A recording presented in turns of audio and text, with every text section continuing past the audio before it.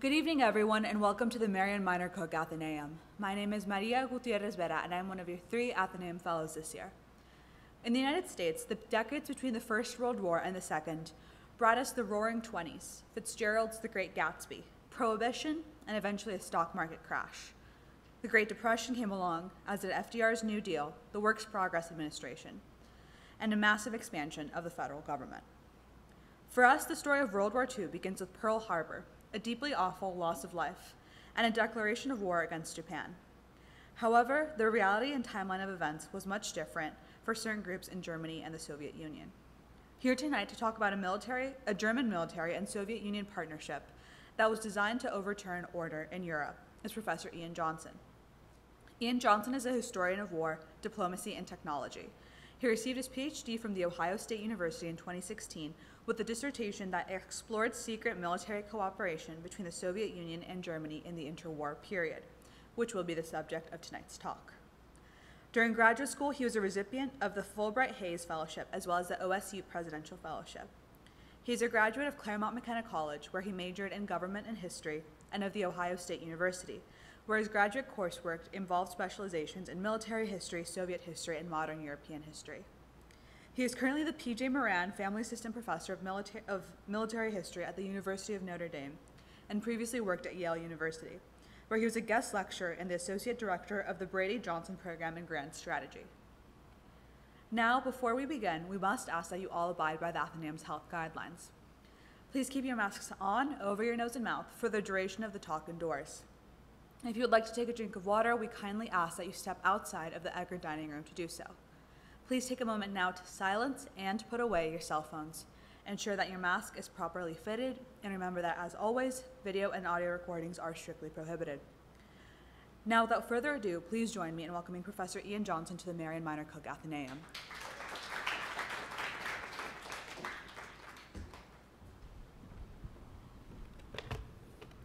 Well, thank you, Maria, for that introduction here.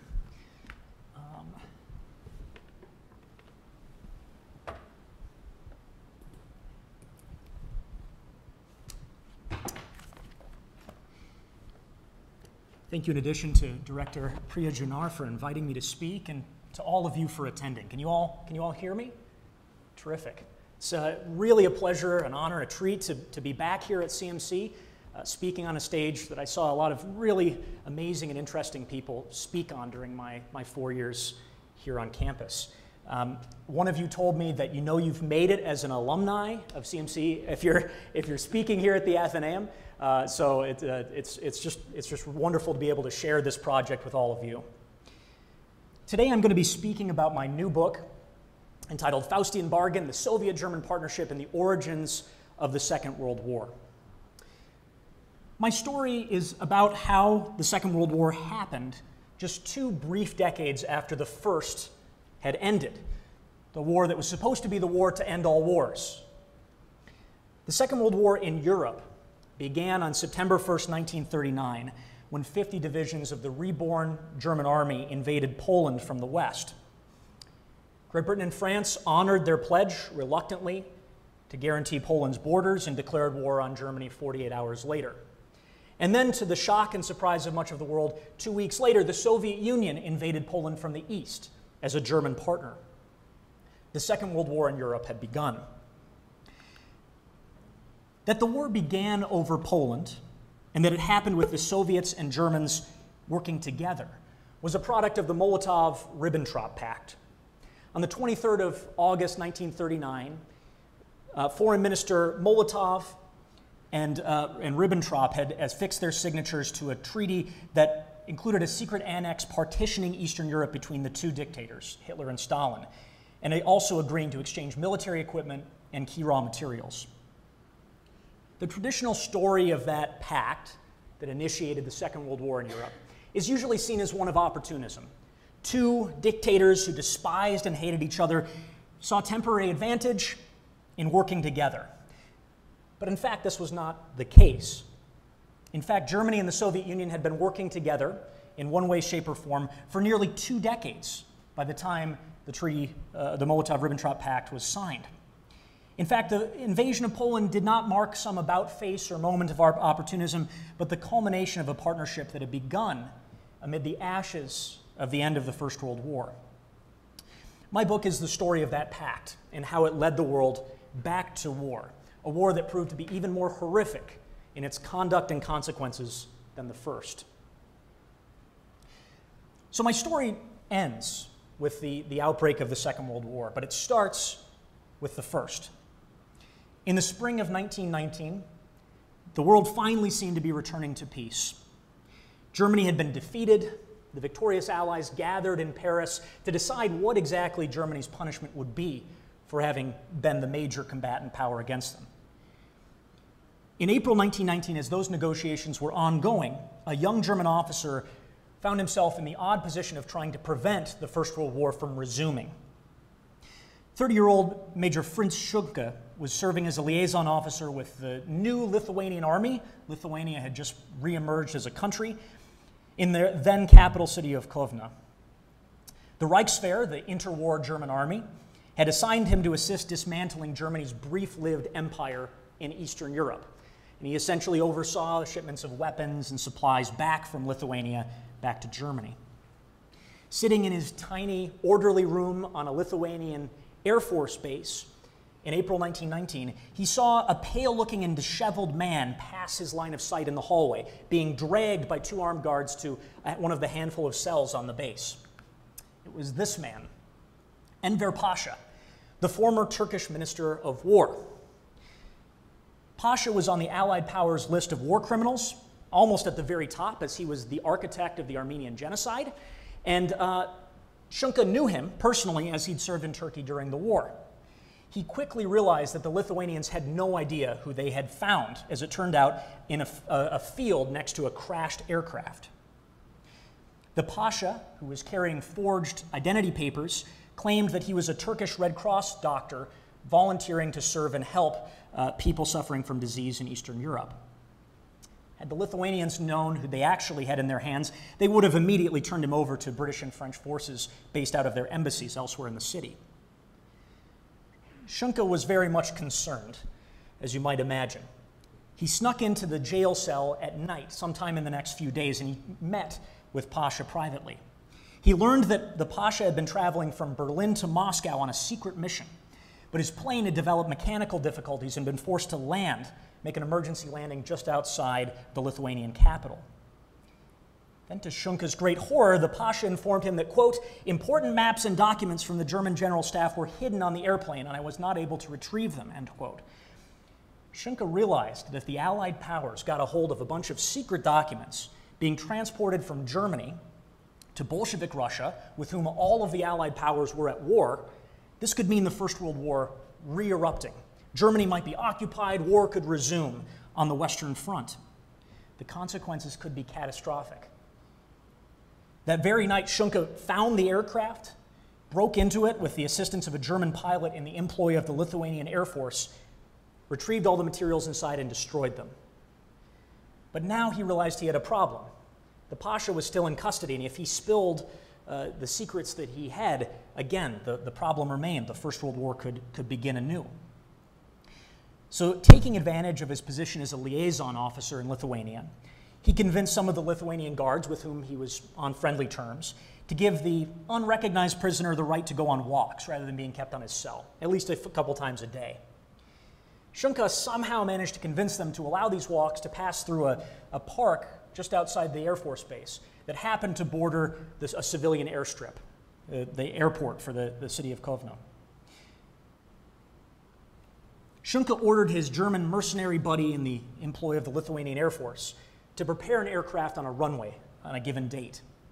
At a designated time, uh, the, the pilot and some of his accomplices were to have an aircraft engine on taxiing on this runway.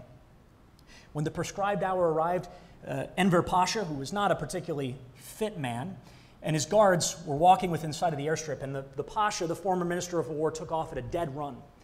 The aircraft roared to life. The guards opened fire as he fled, was pulled into the aircraft, by uh, German hands, and the plane took off and wheeled in the direction of Germany. Tschunke had no idea what he had just been involved with here. He, he had no sense of the bigger picture for some years. But he would eventually learn the mystery of why Enver Pasha had landed in a Lithuanian cell. It turned out that German General Hans von Seeckt, in charge of the German army in the aftermath of the First World War, had been meeting with Bolshevik revolutionary Karl Radek, who had been arrested for trying to incite revolution in Germany. But the two had become uh, acquaintances while Radek had been in prison. Together, the two men had encouraged Pasha to journey to Moscow as an unofficial emissary. They hoped to arrange a covert military pact between Germany and Soviet Russia. But traveling over a vast region riven by war, disease, and famine, it would take two more attempts, another near capture, and almost a year before Enver Pasha would finally reach Moscow and, as we'll see, play a role in the formation of the defining interwar partnership.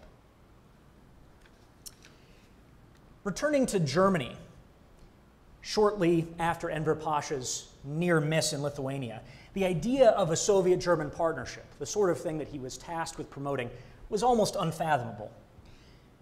It's very difficult to overstate how much the German military and their future German Soviet partners hated each other. In the same year they would begin negotiating, Lenin would call the German military in public speeches savages, plunderers, and predators, and note that in the First World War, the German robber barons would break all uh, records in war atrocities.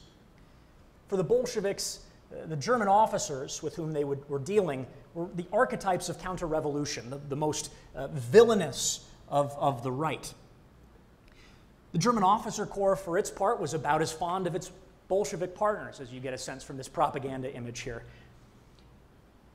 General Wilhelm Groener, one of the most important military officers, would call Lenin and Trotsky enemies and just the devil in official correspondence. No love was lost there.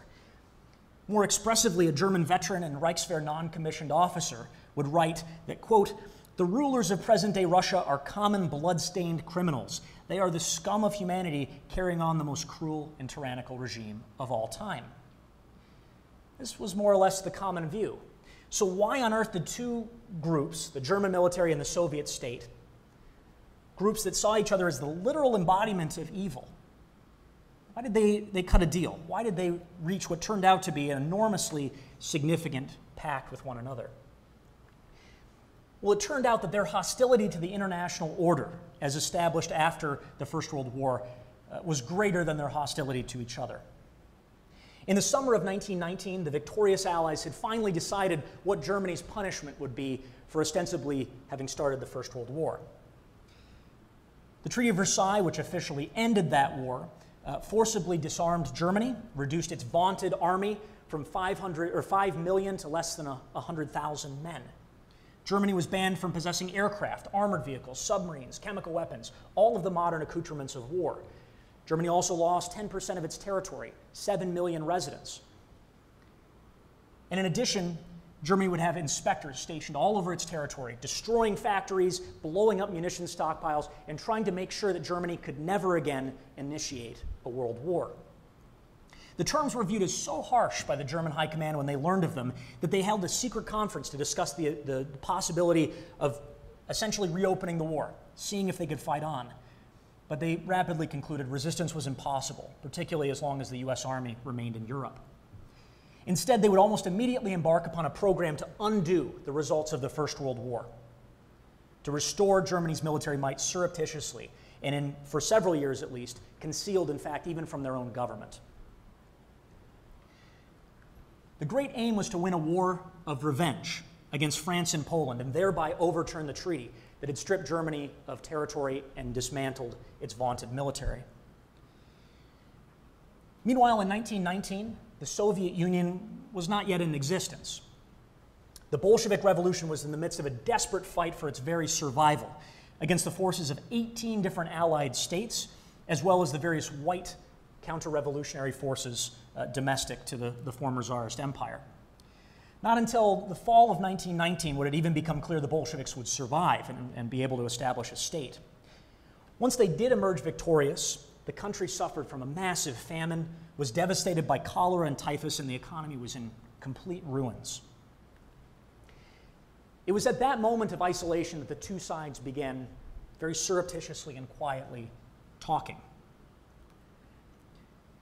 There was a war between Poland and, and, the Bolsheviks ongoing in 1920, and the two sides began exchanging military envoys, including Enver Pasha, who finally reached Moscow in August 1920.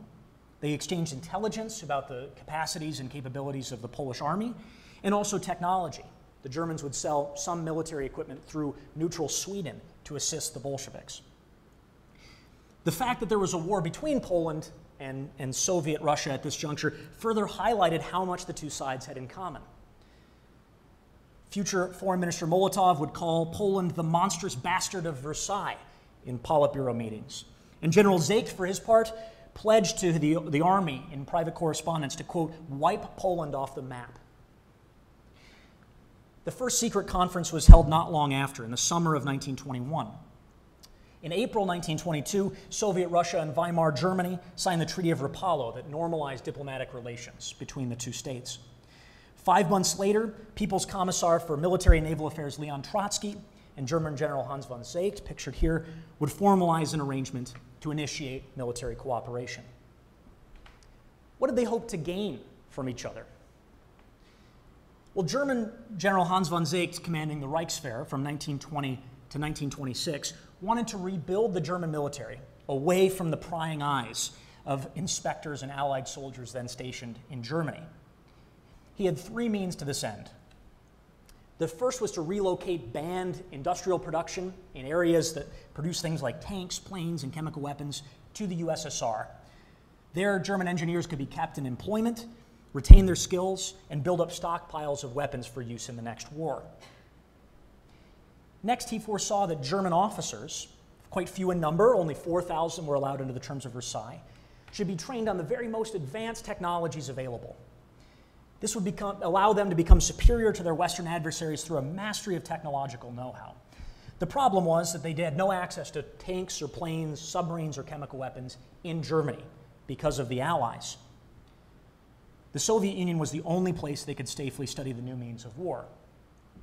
And until some arrangement could be reached, this is how German officers practice tank warfare. They're holding some paper mache, they've got a car. Uh, to simulate planes, they'd have to use motorcycles with cardboard wings attached. This was something of a, a the German officers viewed this as somewhat degrading in the aftermath of the First World War to have to practice new methods of warfare in this manner. Now, finally, Seeckt also sought to develop new technologies of war themselves tanks, planes, submarines couldn't be developed in Germany. Only by relocating engineers and industrial plant to the USSR could the Reichswehr begin the process of technological rearmament in preparation for a new war. Now, Leon Trotsky, the, the head of the, the Red Army in this period, he had different ambitions, but ones that aligned in many ways with, with Seeckt's ambitions. He sought to rebuild a devastated Soviet Union as it would be renamed, with Soviet with German assistance. He saw the relocation of German industry to the Soviet Union as an unalloyed good. This would allow the Soviet Union to develop its own industries and produce very high quality new tanks, planes, and other military equipment. He also hoped to have German officers train and prepare the next generation of professional Soviet officers, engineers, and scientists. The Red Army was in pretty disastrous state in the aftermath of the Russian Civil War, although they had in fact won. The vast majority of its men had no uniforms, let alone weapons. A majority of the officer corps were untrustworthy in Soviet eyes, czarist era officers, many uh, drawn from the aristocracy. They had to be monitored closely by political commissars lest they betray the country. The Air Force at this juncture was down to about four dozen aircraft, uh, most of which were not really safe to fly. And the entire Soviet tank force in the aftermath of the war, which only had about 19 tanks, was redeployed to plow uh, fields in Ukraine in 1922. This was not much of a modern military force. Trotsky wanted help from Germany in developing a new professional officer corps and new technologies of war to safeguard the communist revolution. As a result, between 1922 and 1933, the Soviets and Germans would build a network of secret facilities and military bases throughout the Soviet Union to accomplish these goals. The first element of their partnership, and one that would continue fitfully all the way until 1941, the date when Hitler would attack the Soviet Union and end their partnership, centered on German corporations developing Soviet military industry. Again, uh, providing opportunities for employment for German engineers, scientists, and technicians, and preserving a core of technical know how for that next war Seeckt believed was coming. The Germans would relocate entire factories to the USSR, particularly chemical weapons and aircraft, in industries they had great difficulty concealing from Allied inspection teams. Here you can see a picture of the Thule aviation plant just outside of Moscow. The German military would essentially take over management of this uh, factory through shell corporations in 1923, where it would begin to produce single seater fighters and eventually the first Soviet four engine bomber. Several thousand Russian workers were employed here, operating under German managers and German and Russian engineering teams. Other German managed or run facilities across the USSR would produce artillery, tanks, chemical weapons, rifles, machine guns, submarines, just about anything with military utility. The Germans invested and, and became involved. The scale of this economic cooperation reached just about staggering proportions. Almost every major German corporation would receive contracts from the Red Army to build weapons or factories, 255 German companies in total. Much of this was mediated by the German army that set up a secret shell corporation in Moscow. They became quite adept at doing this to essentially serve as a negotiating center for German firms looking to relocate banned production to the USSR. To give you some sense of how significant German investment and development was, by the time the Second World War began, 50% of all Soviet tank production was de- dependent on German built, managed, or organized factories. Now, as corporate projects took off all across the USSR, the German military wanted to pursue its, its goal of training officers and testing new technologies. The first of the arrangements dedicated to that end centered on salvaging Germany's air power. In 1923, Seeckt began dispatching German pilots to a Soviet airbase near Lipetsk in south central Russia. Their task was to train Soviet would be pilots uh, essentially a basic flight technique. In exchange for training Soviet pilots and mechanics and others, uh, eventually the Germans acquired the entire base on a lease from the Soviet government. The Soviets would allow them to do anything they wanted train pilots, test new technologies, in exchange for allowing the Soviets access to whatever arrived here. Now, the students who studied at Lipetsk were supposed to be the best. They were also supposed to be very young. The German military, again dedicated to a war of revenge, believed that that war was somewhere around 10 to 15 years away in 1923. They thought sometime in the late 1930s the new war would begin, quite presciently. As a result, they concluded that pilots should be between the ages of 18 and 25, which meant they would be in their prime when this new war came.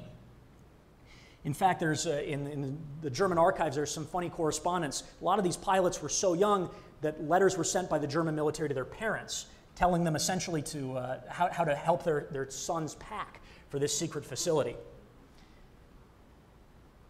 Now, a lot of these individuals, of course, were trying to go surreptitiously to this base, but they, they weren't necessarily very good at it. Many had served in the German army in the First World War, and they had a tendency to not disguise their military bearing very well. So, in this photo from the German archives, these young men are lined up by height like you do on a parade ground, and most of them are wearing military uh, shoes here. And they weren't, they weren't necessarily very good at the, the uh, espionage or, or, secrecy game. Nonetheless, many of them were very, would become very skilled flyers. Selected cadets would begin their training with six months of basic flight training managed at a commercial flight school under Lufthansa, which was essentially organized to help surreptitiously rebuild German air power. And then the best graduates of this program, those who were deemed to be potential fighter pilots, would, be, would depart to Lipetsk in the spring, disguised as tourists. Not a lot of tourists were headed to the USSR in, say, 1926, but nonetheless, that was their cover.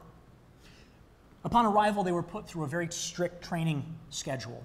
Monday through Saturday, they woke up at 5 or 6 a.m. for two hours of flight time, where they'd be trained by World War I era aces. The young pilots then had an hour of class on aircraft maintenance, an hour of technical instruction, followed by a brief lunch break. After their meal, they had rotating lectures covering topics including tactics, organization, and metal aircraft, followed by a very Russian tea break. Their long day concluded with shooting and tactical lessons and then Russian language training And I should note that as part of the arrangement, the Russians were allowed to give a few kind of propagandistic lectures that most of the cadets would sleep through on things like the five year plan and Soviet agricultural production. And this was not necessarily a, a joyride. It could be very dangerous to learn how to fly in this period. Um, dozens of would be trainees were hurt or killed learning their craft. And in fact, so many corpses would be shipped back to Germany that an entire process had to be organized for shipping them back in crates marked uh, machine tools. But the pilots also had some fun in their off hours. Many had local girlfriends, though the Soviet secret police occasionally rounded up women caught fraternizing with the Germans. The young men played games, they threw parties with their Soviet counterparts, like the New Year's picture uh, image you can see pictured here. What is remarkable, though, is at the same time that this was taking place, a few years after this photo, but you know, when, when these sorts of parties and games were being thrown, just outside the gates of the base, thousands of Soviet civilians were starving to death, victims of Soviet collectivization. In fact, famine victims would frequently be caught trying to climb over the barbed wire fences of the camp to get at the camp's food supplies. The Germans got a lot out of these bases. They trained new pilots, discovered new techniques and tactics, and also tested new technologies uh, in the air. Nearly a thousand pilots, mechanics, and observers would go through the school at Lipetsk. For context, this was about the entire size of the German Air Force when Hitler officially reformed it in 1935. 22 officers who had reached the three star rank or above, the, the top ranks of the Luftwaffe, had either studied, taught, or commanded this facility at Lipetsk. One of, its, one of its alumni, Luftwaffe General Wilhelm Speidel, would later write, reflecting on his time at the base, that, quote, the entire spiritual foundations of the Luftwaffe had been developed on that aeronautical field. So, what were the Soviets getting out of all of this? They too trained pilots and mechanics and engineers alongside the Germans, in huge numbers, in fact. But their main goal was to access German technology. Germany made some of the best planes in the world. German engineering technology was considered to be second to none. In addition, because Germany had nowhere to test new combat aircraft, every single aviation manufacturer in Germany, all of which had illegal uh, aircraft design bureaus working on combat aircraft in violation of both German and international law, were sending their prototypes to this secret base. The Soviets were supposed to be allowed to inspect these aircraft, but consistently believed the Germans weren't showing them everything during the day. As a result, the Germans would wake up almost every morning to find parts or blueprints moved around the various offices, the Soviets having broken into the offices nightly to steal technology or photograph various blueprints. Now, Lipetsk was only part of a much larger network, um, naturally, of course, being a little impressionistic. But I want to give you a sense of a few of the other key facilities operating here. A few hundred miles away and near the city of Kazan, the Germans and Soviets had another joint base operating called Kama, dedicated to tank warfare. Most of the most prominent theorists of armored warfare in both the USSR and Germany would train or learn how to drive and, and operate tanks at this facility. 17 divisional commanders on the German side would pass through the facility. For context, the German army had 18 armored divisions in 1941, almost all commanded by alumni of this facility.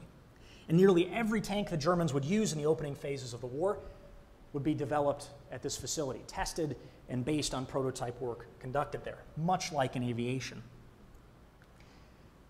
Now, the most secretive element of this network, besides the corporate facilities, these various training facilities, centered on chemical weapons production. Two facilities, joint facilities operating under both Soviet and German officers, co commandants, existed in the Soviet Union in this period. You can see here a picture of the, the German scientists working at Tomka, the larger of the two facilities. Most of these individuals were academics, they were scientists who worked for the German chemical weapons program in the First World War. Some of them had been labeled war criminals and gone underground after the war. Others uh, found employment at universities. When the German army asked many of them to relocate to begin testing new chemical agents, new dispersion techniques, many uh, very readily volunteered.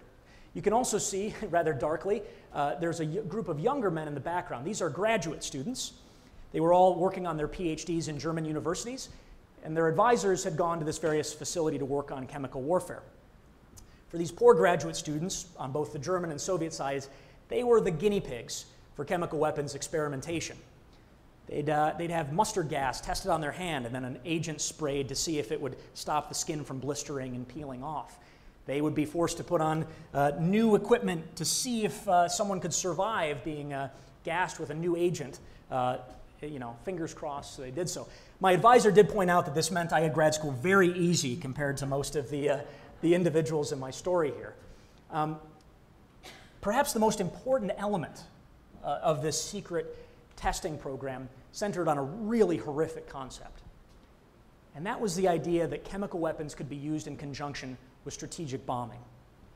What if German and Soviet technicians asked, what if you could carpet bomb London with mustard gas or phosgene or chlorine, killed all of the inhabitants of the city, but leave the city itself intact, ready for capture, ready to begin industrial production as soon as it was occupied?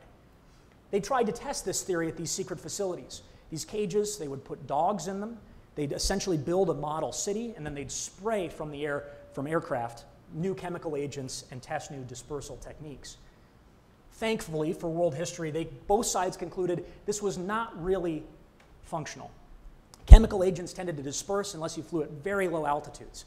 And if you flew at very low altitudes, you were likely to be shot down. As a result, unlike the First World War, where chemical weapons were used extensively, both the Germans and the Soviets would eschew a first use chemical weapons policy in the Second World War, saving Europe perhaps from uh, even more catastrophic destruction than was, would in fact be visited upon it.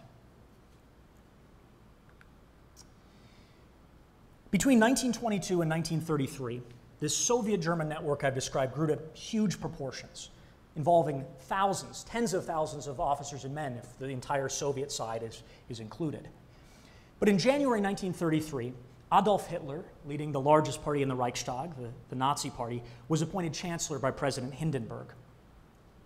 Cooperation actually played some role in Hitler's rise to power, something I'd be happy to discuss in the Q&A if you're interested. In any case, despite his own personal hatred of communism, Hitler did not immediately end cooperation.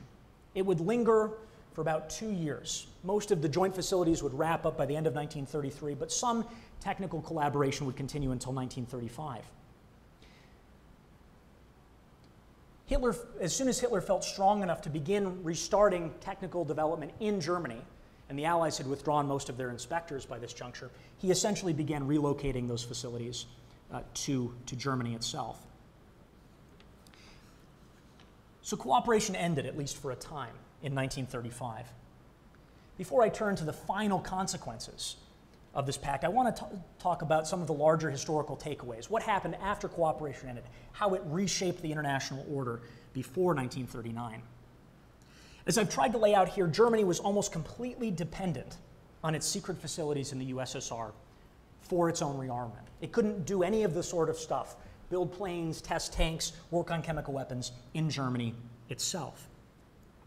When Hitler came to power, he almost immediately and aggressively began expanding covert military expenditures.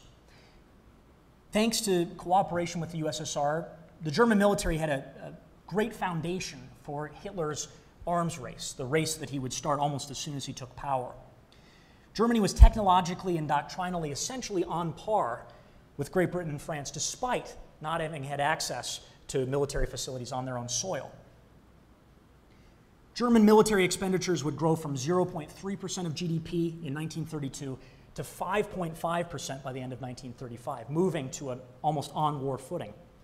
By the end of that year, the new Luftwaffe had received over 5,500 aircraft from German industry. More than 500 new tanks had been issued to the Wehrmacht, the German army. In October 1935, a new generation of armored vehicles based on prototype testing and development at Kama were just entering mass production. In other words, a window to halt German rearmament was rapidly closing already. The consequences would be felt immediately in European diplomacy. When Hitler marched into the previously demilitarized Rhineland in 1936, in violation of the Treaty of Versailles, in violation of German dynastic law, the chief of the French general staff informed the cabinet of then French prime minister, to his shock, that the French military could only respond to Hitler's brazen act of aggression with proper investment and mobilization in 12 months. As the Chief of Staff concluded, the German army was already the strongest in Europe. The German Air Force was significantly stronger than the, the French Air Force as well. If the French army tried to intervene and stop Hitler from remilitarizing the Rhineland, they'd start a general war which would eventually be won by Germany thanks to its larger population and military industry. Therefore, he argued no military action could or should be taken. Appeasement, in other words. The assessment of the British government was much the same. You get a sense here from a cartoon in 1936, perhaps earlier than we think about appeasement taking place. The original caption was, How much will you give me not to kick your pants for, say, 25 years? And it's Hitler menacing a group of foreign statesmen. The British uh, intelligence services had already concluded that German rearmament had, in, had reached essentially very dangerous levels by 1935, which led that government to include or to sign one of the most uh, damaging acts of appeasement, the 1935 Naval Agreement, often forgotten, and then the even more infamous Munich Agreement in 1938.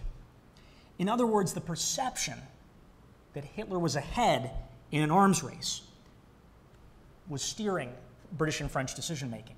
They concluded that he either had to be bought off or delayed until British and French rearmament caught up. And it's important to note here you couldn't simply uh, buy a new, new military apparatus overnight. It took four to six years to develop a new tank or aircraft design from scratch.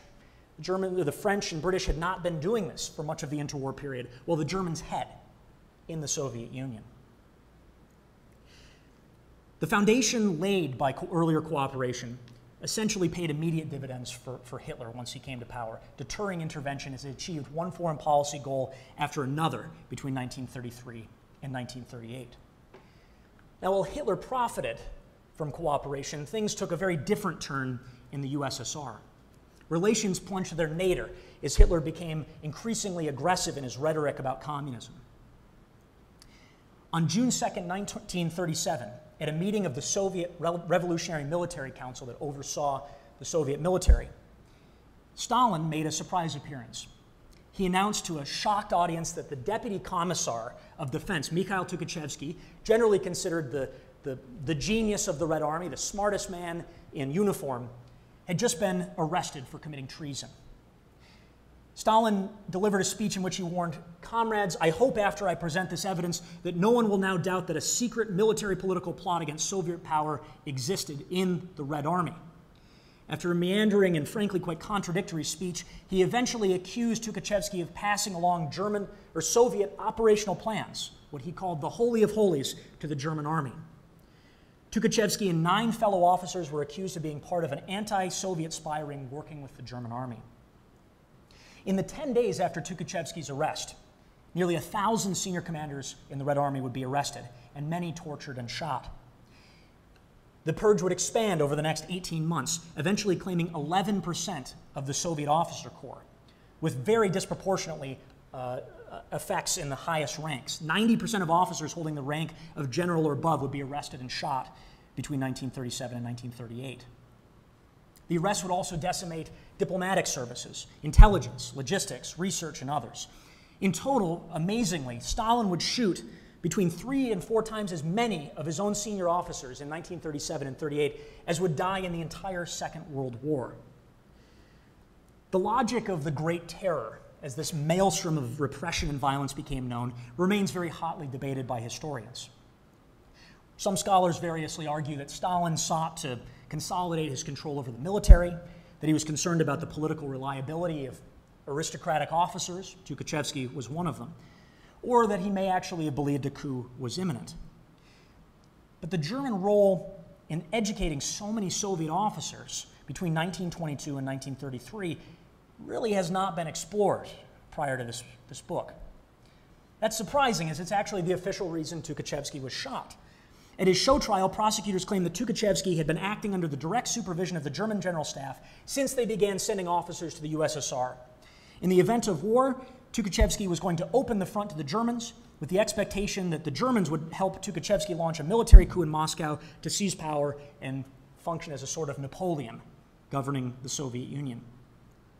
Prosecutors brought up Tukhachevsky's past work with the Reichswehr, his time at the various secret facilities, as evidence Now, the great preponderance of historical evidence suggests the whole plot was made up, that Stalin knew it was a fiction, but some elites running the Soviet state may have actually believed parts of the Red Army would collaborate with the Germans in the event of war. Whatever the case, Stalin was clearly concerned that the Red Army might not be reliable in the event of a war with Germany. Now, remember, Trotsky's whole project had been to train a new generation of officers who could replace politically suspect older ones with German assistance.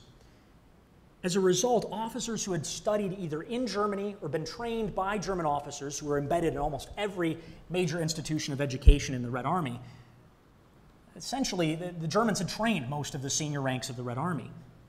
Paranoid as he already was, Stalin must have noted how many of his commanders had lived, studied, or trained in Germany, his most likely military adversary.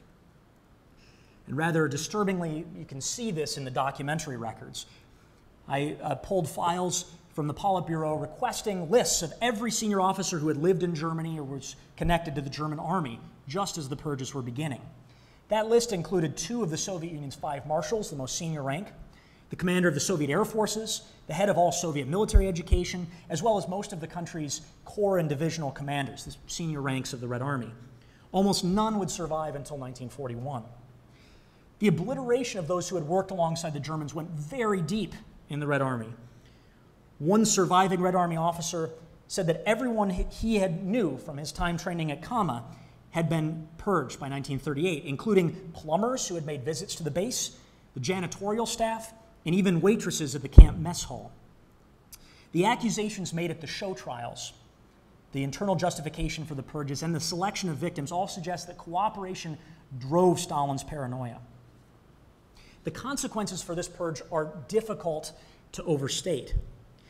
The British and French had been negotiating with Moscow to build an anti Nazi coalition since 1935 reluctantly given some of their concerns about communism, but nonetheless, they had, they had signed a number of agreements.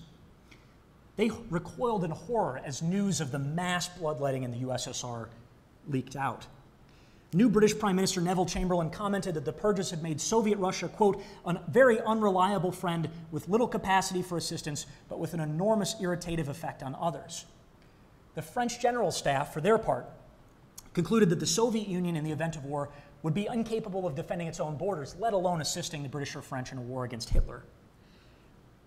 This led British and French policymakers to exclude the Soviet Union from the Munich Conference, among other things. No Soviet representatives were present, even though the Soviet Union had a mutual assistance pact with Czechoslovakia, the state under examination at the Munich Conference.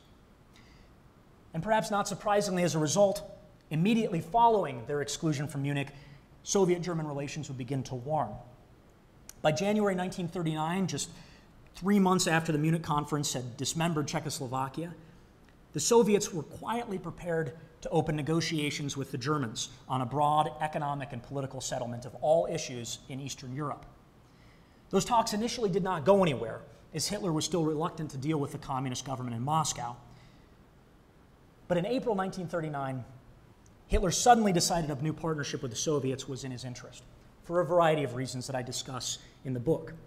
And interestingly, when he decided that was the case, he had the foreign ministry pass along word to Stalin that he desired to, quote, renew the old Rapallo relationship.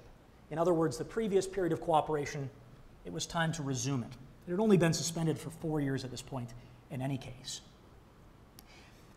As I said at the beginning of my talk, in August 1939, Germany and the Soviet Union would agree to the Molotov Ribbentrop Pact. Uh, you can see a, a, happy Stalin here, never a, never a good sign.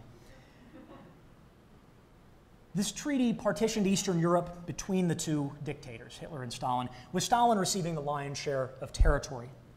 In exchange, the Soviet Union would be expected to supply Germany with oil and other critical raw materials and assist in Germany's war at sea against Great Britain, as well as invading Poland as a German ally.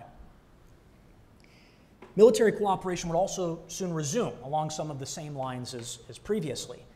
The Germans would actually set up a new naval base on Soviet soil near Murmansk. They would sell huge quantities of weapons to the Soviets, as they had in previous periods, and send engineers to assist Soviet shipbuilders in Leningrad.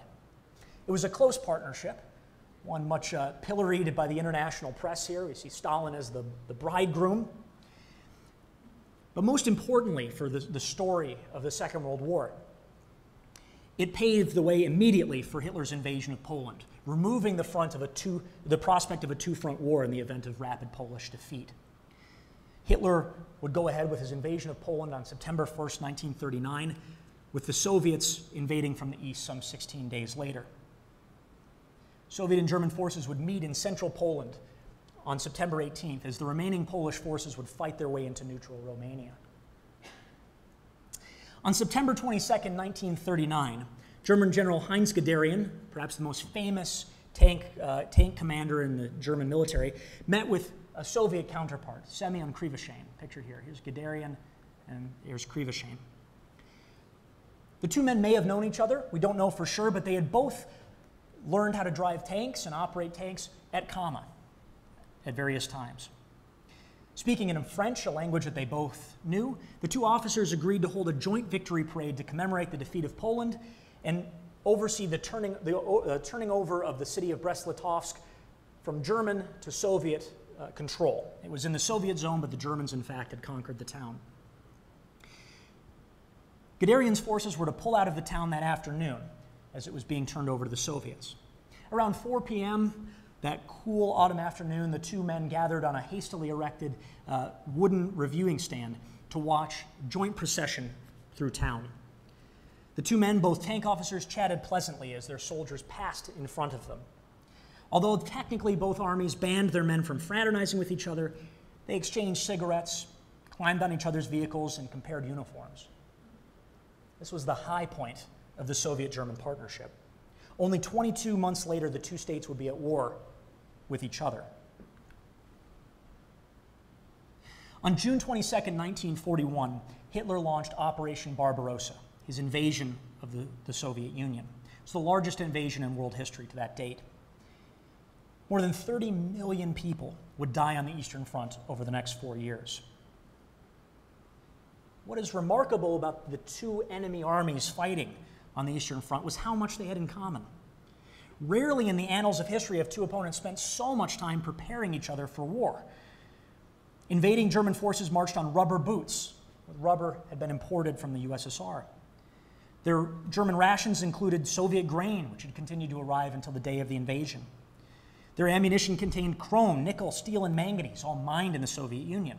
German vehicles and aircraft drew heavily from the legacy of engineering work conducted on Soviet soil.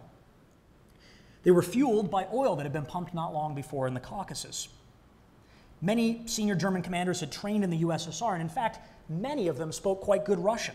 At least one uh, became quite well known for translating Russian poetry, medieval Russian poetry, in his spare time.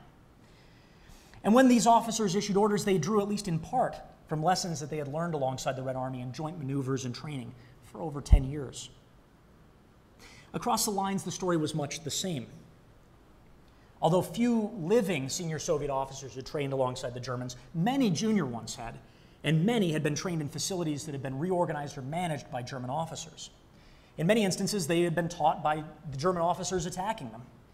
Among the Red Army's most famous professors during cooperation were names like Erich von Manstein, Walter Model, Friedrich von Paulus, famous for his defeat and capture at Stalingrad, and Field Marshal Wilhelm Keitel, who was actually overseeing the invasion force of the Soviet Union.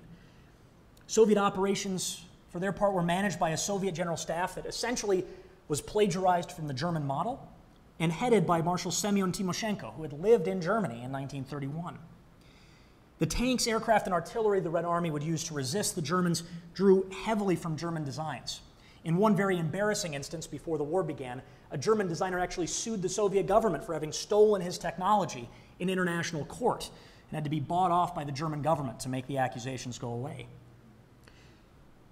Many of the Soviet vehicles were powered by German designed engines, particularly the, the much beloved by the Soviets BMW engines. The vehicles and aircraft themselves had been built in factories constructed with German help, equipped with German machine tools, and powered by coal that had been mined in Germany. As news of the German attack began to filter back from the West, Stalin reacted with disbelief. Surely, he asked the Politburo, Hitler would not attack like some brigand. He told Foreign Minister Molotov to go find the German ambassador. Surely this was some sort of misunderstanding. Molotov duly summoned German Ambassador Schulenburg to his office. Schulenburg, quivering and supposedly with tears in his eyes, began reading a memorandum accusing the Soviet Union of breaking the Soviet German pact. Schulenburg concluded his remarks in a pregnant silence hung in the air of Molotov's office. Molotov asked, Is this supposed to be a declaration of war?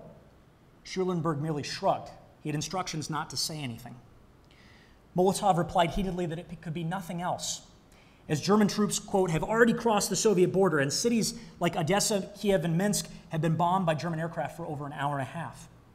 Schulenburg again said nothing. At the end of the interview, all Molotov could stutter was, quote, What have we done to deserve this? I'll conclude there and, and look forward to your questions.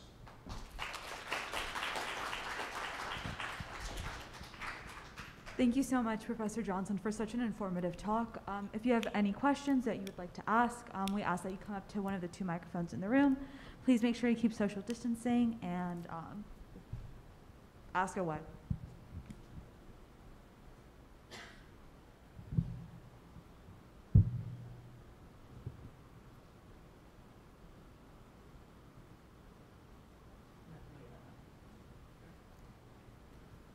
Hi, I'm uh, Gage Horn. I'm a senior at CMC. I was just wondering, is there any historical record showing there was the possibility of a Soviet betrayal had the war gone on, or was it really like Stalin was caught just completely off guard? Yeah, there's a lot of debate over this question. Um, I'm actually going to be debating a historian named Sean McMeekin uh, at the National World War II Museum in about three weeks on, on this very question. So the argument has been presented that Stalin was actually going to betray Hitler first and that Hitler launched a preemptive attack. I've seen nothing in the archival evidence to suggest this was the case. I think the case is mostly based on forged documents produced by uh, some individuals who had their own axes to grind and wanted this to be the case. The Soviet military in the aftermath of the purges was an absolute mess. The suicide rate went up about 20%, or uh, 20, 20 times rather. Uh, alcoholism was rife. About half of all Soviet officers had no military training of any kind in 1941. I just don't think the Soviet military was capable of attacking. The evidence seemed to suggest that Stalin, who had read Mein Kampf very closely, thought that Hitler was not crazy enough to start a two front war with Great Britain still undefeated, and that he had time, that war might not come until 1942 or 43. I think that suggests uh, that's the reason for complete Soviet strategic surprise uh, when, when, in fact, Hitler did attack. Thank you so much. Hi, uh, thank you so much for your talk. My question is actually not really founded in the interwar phase, it's more currently. So if that's fine with you. Sure, yeah. Um, it's actually a question about the UN Security Council that's comprised of China, Russia, UK, US, France, and non-permanent members as well. How do you see its current form? Is it effective? Do you think there's a current way that we should reform it? because they're so big, the powers, and China rising currently, Russia having a bigger influence in Eastern European countries. How do you see them working together, and do you think it's still an effective council? Sure, yeah. So, a little background. Uh, we discussed this earlier. I'm working on a new book that looks at attempts to arm the United Nations. The original plan for the UN was that it would have its own Army, Navy, Air Force, and nuclear arsenal. Um, that obviously did not happen uh, for a variety of reasons, and it actually led to the formation of NATO in part as a result. So uh, stay tuned for, for that book, which should be coming out in uh, two-ish years if things go well. Um, so the UN Security Council was intended as a, as a compromise measure. Essentially, what Roosevelt wanted to do, and Roosevelt was very much the architect of the original UN Charter in a variety of ways, was preserve the Grand Alliance that had just won the Second World War. He concluded essentially that four countries had the majority of the world's military might, that if they were all on board and collaborated and cooperated and got special privileges and rights in the new UN body, they collectively could police the world and prevent a new war from beginning. He hoped that each of them would assign men from their own militaries to serve in permanent international military positions uh, at the United Nations. And in fact, there is a UN military staff in New York whose job was to manage this massive UN army that was going to come into being and never did. Uh, now, I, apparently, they mostly just hang out in New York. It's considered kind of a vacation for colonels from Russia and the United States mostly. Um, so obviously, the Security Council that was it was intended to be this effort to preserve the Grand Alliance. The reality was, though, that at its core the, was the idea of the veto, that any one of the great powers could veto the actions of the Security Council as a whole.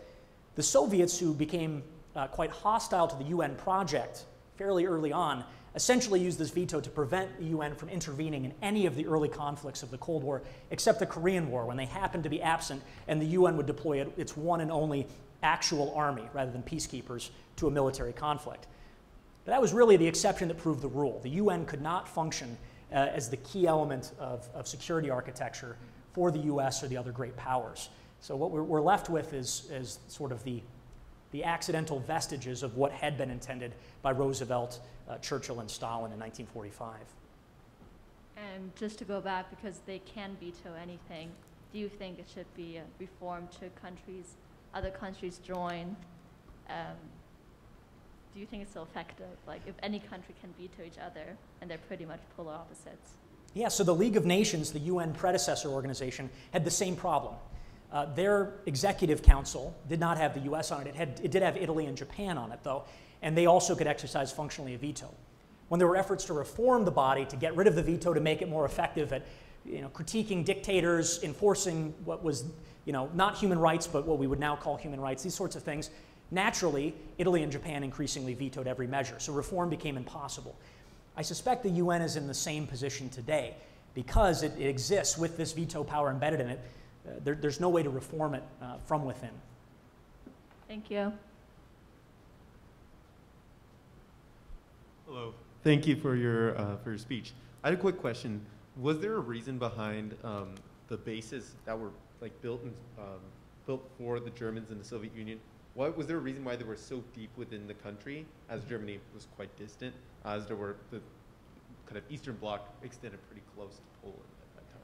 Yeah, absolutely. So um, one of the main concerns was secrecy on both sides. The Soviets were somewhat embarrassed that they were working with uh, the Germans, and the German military in particular. And the Germans were very afraid uh, that the, the, Allies would essentially occupy Germany. Again, Germany had very little military forces to speak of.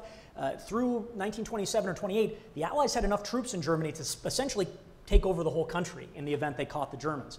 So the Germans were constantly trying to experiment with efforts at secrecy. They would uh, weld tractor plows on the front of these tank prototypes as they shipped them. You know, if someone had lifted up the tarp, they would have seen a, there's a cannon on the top. So, you know, how effective was that? But they were constantly trying to innovate ways to, to hide what was ongoing from uh, the British and French inspectors in particular. This was one reason they were dispersed and not located in major cities. There was only one facility in the immediate environs of Moscow. Most of the rest were out in provincial centers. Um, there was also a desire for some distance from major cities because initially the first chemical weapons facility was built in the Moscow suburbs, and as I noted, they're testing chemical weapons from the air. This base was only seven miles from the Kremlin, and the first couple times they started dropping, say, mustard gas from planes, they were killing people in the Moscow suburbs. Uh, and so eventually the Germans said, maybe we should relocate the base. And the Soviets said, you know, it doesn't really matter, but if you want to move it, we're happy to do so. So that they would, in fact, move the chemical weapons facility out in the middle of absolutely nowhere in 1927. Thank you, appreciate it. Yeah. Um, thank you for your time. Um, so I was wondering, you talked at the beginning about um, this war of revenge that the Germans may have been preparing for. Um, would we have had this Soviet-German partnership had Versailles gone a little bit differently? What if, I don't know, the United States delegation uh, kind of got their way a little more, and reparations and uh, post-war policy looked different. Would you have um, expected or anticipated something similar coming out? Yeah, it's a really interesting question. What role did Versailles, this treaty that's often seen as much too harsh, play in this desire for revenge? Well, what's interesting, I think, uh, so I, I started with this story of this plane crash and kind of escape in Lithuania.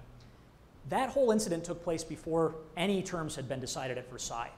The problem for the German military was not what would end up being the terms of Versailles, though of course they disliked them. It was the fact they'd lost. And in fact, as even before Versailles was known, they were already contemplating how they would fight that next war. So in my mind, the problem was not necessarily that Versailles, Versailles was too harsh. It was that the Allies did not enforce it effectively. They allowed all of these violations to take place and allowed Germany to effectively rearm. Either the terms could have been much less harsh, and the Allies maintained vigilance, or they could have been much more harsh and enforced properly. Instead, uh, the British and French essentially threaded a middle course that accomplished none of their strategic aims. Thank you so much. Hi, Professor. I have a question, actually. Um, so earlier today when we spoke, you mentioned you spent a lot of time in various archives, um, kind of in preparation for your book and also doing research. So my question is, um, did you find anything like particularly interesting that you wish you'd included in the book? Or did you find anything that like kind of like has served as the academic inspiration for another project? Yeah, absolutely. You know, as, as a historian, you're always looking for that story. Um, I, I, found the project I'm working on right now in part as a, a, a product of this project. I'll mention one, a story that uh, I actually mentioned when we were recording a podcast earlier. Uh, just something really weird and wacky that I found in the archives. So, I was uh, living in Moscow on a Fulbright. I'd actually finished the core research I wanted to do. The, the, Russian archivist said, you know what, we don't actually want you to see any more documents on this particular topic. They were getting a little concerned, I think, about the project. So I started looking for new things in the archives. Well, I had these massive Soviet era finding aids. They just give you a vague description of what's in these boxes, and then you try to request them. And if they think it's not sensitive, they might let you see them. Well, one of them was labeled Death Ray. And I thought, oh, that sounds interesting. Uh, can I take a look? And they said, sure, yeah. So I got this big stack of files from 1934. And there was a really interesting story in there. And I've, I've written a, an academic article on this, uh, but um, I don't think the story is very well known. So, inventor Nikola Tesla uh, had retired to New York uh, in the 30s, basically broke. Westinghouse, the company he'd worked for, had essentially left him penniless, had treated him terribly he was still working on all sorts of new ideas, but he was also becoming increasingly senile in his old age, and his health was not great. But apparently, at some cocktail party that he was invited to, he met a Soviet diplomat from the Soviet consulate in New York. And offhandedly, and possibly after a great deal of drinking, Tesla remarked that he was working on a thing he called the, a peace ray. Well, this young Soviet uh, officer, who was not a diplomat, he was in fact an intelligence officer, uh, asked him, Okay, can you tell me a little more? Well, it turned out Nikola Tesla had been sketching out what he what was effectively a death ray. It was an incineration beam that would cause matter to break apart. Essentially, he, he thought he could break the, the molecular bonds by building this crazy device. Well, uh, the US military had said, no, no, thank you, You're, no, we're not interested. The British had turned down, but he asked his Soviet buddy, uh, hey, would, would the Soviet government be interested? And they said yes. They offered him $25,000, which was a lot of money at that time, in exchange for the delivery of uh, the prototype design. From what I can tell, they tried to build it in Kazakhstan in the desert. Uh, didn't work, it turns out. And part of the story that was so interesting to me is that a lot of these records are from essentially the NKVD officer, this intelligence officer, later KGB, uh, back to Moscow. And his, his job is to stay with Tesla, make sure he's working on this, make sure that the Soviet government's getting their money. And his reports are increasingly kind of desperate. Like, I don't think Nikola Tesla's got his, his mind right. And one of the last one reads that he walked with Nikola Tesla through Central Park, and Tesla sat down on a bench and was uh, feeding pigeons. And one of them came up, and Tesla was stroking it, and he informed his uh, Soviet counterpart that this, was, this pigeon was the reincarnation of his dead girlfriend from Yugoslavia, uh, who came to visit him every day when he went to feed the pigeons in Central Park. And the Soviet intelligence officer kind of did a dot, dot, dot at the end of the report, like, I hope that death ray prototype is working. I'm not, I'm not so confident. But anyway, kind of a fascinating story about uh, Soviet interest in technology and uh, what ended up being the last big project of Tesla's life. Thank you so much, Professor Johnson. Please join me in giving him a very warm round of applause.